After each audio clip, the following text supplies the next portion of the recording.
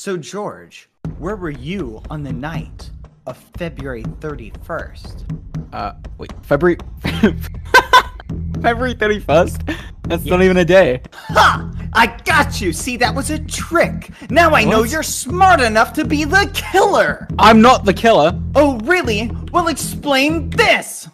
Explain what? It's, it's just a sapling. Ah! How do you know what it is? Because I'm looking at it and I know what it is. What do you mean? This is ridiculous. Well, it just so happens that that is the murder weapon. Okay, well, that's just a weird coincidence then. Oh, really? Well, why don't you pick it up? Okay, Ah! now what? Now your fingerprints are on the weapon! I'm just. You I told me to pick it up. you. You told me to pick it up. I didn't do anything! You're the killer! Admit it! No! Killer say what? What? Gotcha! What?